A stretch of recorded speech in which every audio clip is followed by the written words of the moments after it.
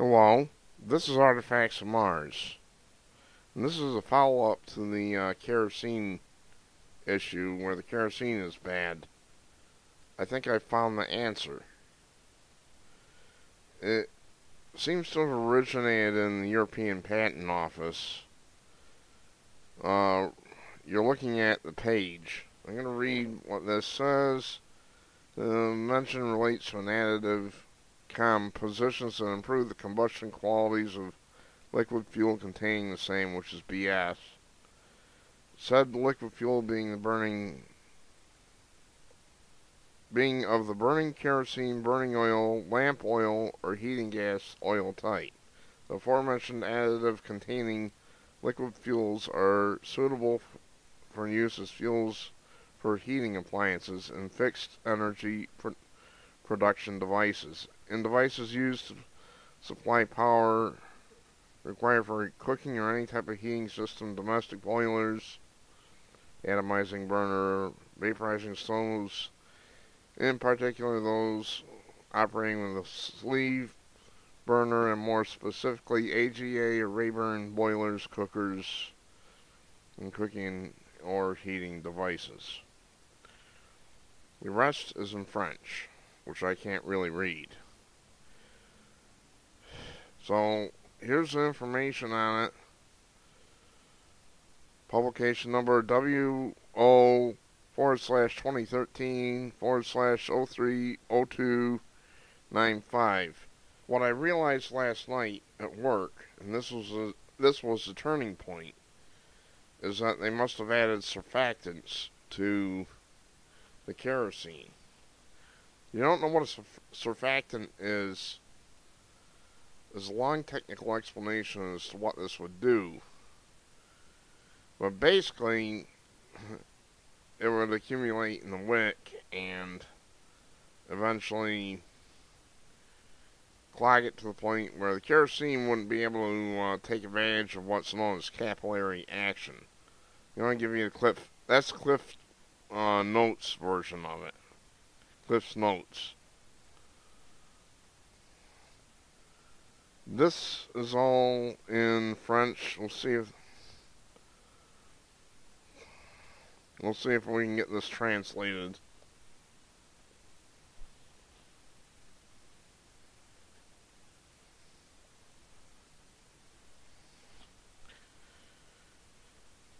Yeah, uh, here's translation. Present invention provides superior fuel composed of burning kerosene type of fuel or fuel burning oil or kerosene and heating fuel and it's an additive composition. The high quality fuel is used for, for producing energy for heating or family or collective use cooking. Type of burning kerosene are liquid fuels have distillation temperatures between those petrol and diesel and those properties are rather similar to those of diesel. They are very present on the Anglo-Saxon market. The two categories of BUK are available on market. C2 class BUK according to British standards BS 2869 or BUK class C1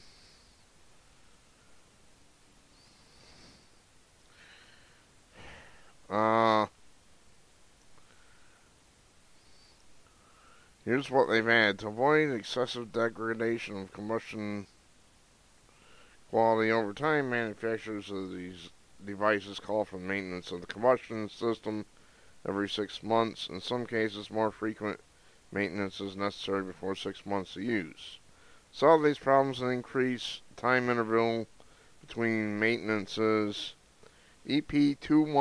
EP2147966 has proposed an additive composition comprising liquid fuel, at least one antioxidant of phenol or amine, preferably phenol amine, at least one metal passivator, at least one metal sequestrant such as,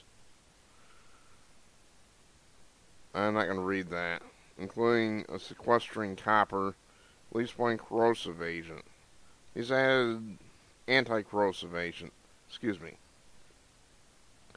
These additive compositions, although exhibiting certain operating conditions and a, a very good performance for maintaining the quality of combustion, may suffer in some cases the high temperature thermal cracking, which in inhibits the efficacy of the additive, results in a blocker of blockage of the burner supply circuit or sleeve and or the grate residue formation during thermal cracking. Well, this is a bunch of gobbledygook. Like I said, they've had surfactants. See, surfactant, capillary action, if you're not familiar, is something where if if you have a tiny stripe sticking water, it'll st uh, it'll look like it's climbing up the walls of the uh, straw. And the reason it does that is because of something called surface tension. What a surfactant does is it breaks down that surface ten tension and thus destroys capillary action. So this gunk that they put in there basically is destroying the capillary action in the wicks. The wicks really aren't getting fouled per se. They're not don't have a bunch of carbon build up on them. What's happening is they're getting gunked up by this stuff. I don't know if this stuff is uh, can be washed out or not. That's the thing. It'd be a major, major hassle. I'm gonna have to look up some of these chemicals, see what they do. But I have no doubt I found the answer right here. To me, it looks like Agenda 21.